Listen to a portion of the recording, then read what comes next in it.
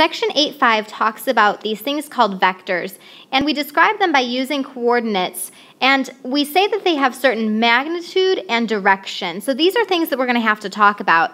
We're going to learn how to describe them using coordinates and compass directions, and also learn how to add them and find what we call the resultant vector. So we're going to begin with some vocabulary. We've got the word vector that I mentioned to you on the previous slide, and I also talked about magnitude and direction. These are two things that are really important with vectors because the magnitude tells us the distance from the initial point, which is where it's starting, to the terminal point, which is where it's ending. So it basically tells us like the distance, the, the length of it, the size of it, the magnitude of it.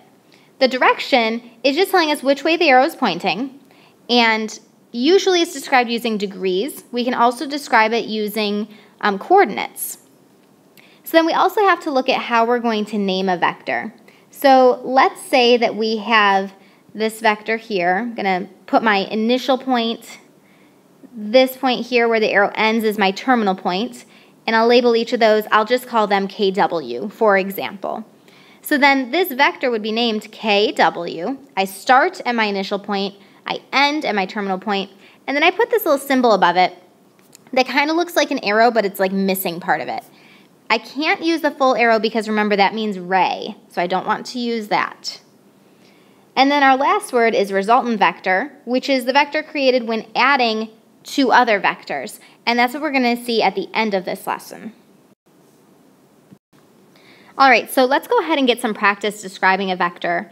Uh, what is vector OL as an ordered pair? That's our first example. Now, when you write these, it's just like writing the coordinates of a vector. However, instead of parentheses, you use these little pointy kind of parentheses with a comma in the middle. And then my coordinates, well, I'm going x over and I'm going y down. So those would be my coordinates of this example. Let's just say that they told me that I was going over to, I don't know, 4 on my x and three and a half on my y. Then I would have 4 comma 3.5. And remember, we're putting them in these little pointy kind of brackets. So then how do we describe this with compass directions? With compass directions, what I'm going to do is I'm just going to look at my angle and I need to figure out which direction I'm going north, south, east, or west. So just a reminder in case you didn't know this. North, south, east, and west. So there's your compass directions. And if you look, this is in between, my example here, is in between south and east. The angle that I have is this 50 degree angle here. So if I go east, if I'm going east, what I need to do is I need to kind of shift down. I'm spinning down by 50 degrees. So I am 50 degrees south of east, which is the direction I was originally traveling. So I was going east, but I had to kind of spin down by 50 degrees. So we can say that this is 50 degrees south of east. And then there's a you try problem for you to do. So for these problems, we're going to have to calculate what the magnitude and the direction of a vector are. And in order to do that, we're going to have to use our knowledge of trigonometry. So if you think about it, by creating our coordinates here, our x and y coordinates, we're creating a right triangle. And if I know that the length of this piece is 40 and the length of this piece is 25, then I can go ahead and I can calculate what my hypotenuse is. That I don't even need to use trigonometry for. I can just use Pythagorean theorem. So I'm going to say 40 squared plus 25 squared equals c squared.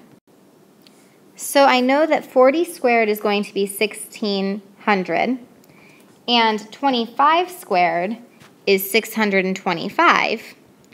So if I add those things together, I get 2,225 equals c squared. And if I take the square root, I get that c is equal to 47.1. So C represents my magnitude. That's the length or the distance between my start and my end point. So I have my magnitude done. Now what I need to do is I need to take a look at my uh, direction. So I need to look at what this angle is right here. All right, so I'm going to look at some trig now. I know all three of my sides, so I can pick whichever trig function I want. I'm just going to go ahead and use sine. So sine of x equals opposite, so 25. And, you know, I didn't specifically mention this, but the reason I'm using all of my positive values is because I'm just concerned with the length, not the direction. I'm not concerned whether I'm going up 25 or down 25, which is what that negative tells me. I'm just concerned that that's my length. So opposite over hypotenuse, and we said that our hypotenuse is 47.1. So in my calculator, I'm going to say uh, I need sine inverse of 25 divided by 47.1. And when I put that in my calculator, 47.1, I get that x is 32 degrees. Okay, so I know that this angle is 32 degrees. Now I just have to figure out like north, south, east, west, what's happening. So it's like I'm going in the westward direction, right? So I'm going in the westward direction, but I have to go a little bit south of there. I have to kind of loop down. So I am 32 degrees south of west. So that's how I'm going to explain this. 32 degrees south of west. So there's my direction, there's my magnitude, and I'm done with that problem. So you're going to go ahead and do something very similar for the U try problem, and I'll look at that in class. The last thing we're going to talk about is adding two vectors together. Now, what's important is you can only add two vectors head to tail. So if you look at this first example, your vectors are going in opposite directions. So technically, graphically, and visually, what we have to do is we have to take this vector C, and we need to move it over to the end of vector A so it's head to tail, just like what you can see in this picture below. Now the resultant vector comes from connecting your initial point to your terminal point. Initial point of A connected to C, so now I want this resultant vector right here. So that is visually what it looks like. However, if you want to explain what that is, then you're going to use coordinates to say, okay, my vector A was negative 4, negative 3. Those were the coordinates of vector A if you look at this picture up here. I went over 4, down 3. And vector C was originally over 1, down 2. If I just simply add up my negative 4 and my 1, I'll get negative 3. And if I add up my negative 3 and my negative 2, I get negative 5. Let's see if that matches up with what we ended up with as our blue resultant vector. Went over 3, 1, 2, 3, and down 5. So that's exactly what happened. I went over 3, down 5, over 3, down 5. So you can do this graphically by connecting your vectors head to tail and then connecting them with this new resultant vector. Or you can just do it algebraically by adding the two vectors together, taking the x's, adding them, and then adding the y's which is what I have right up here at the top. So there you go. There's a U-try problem for you, and I will see you in class so we can practice this.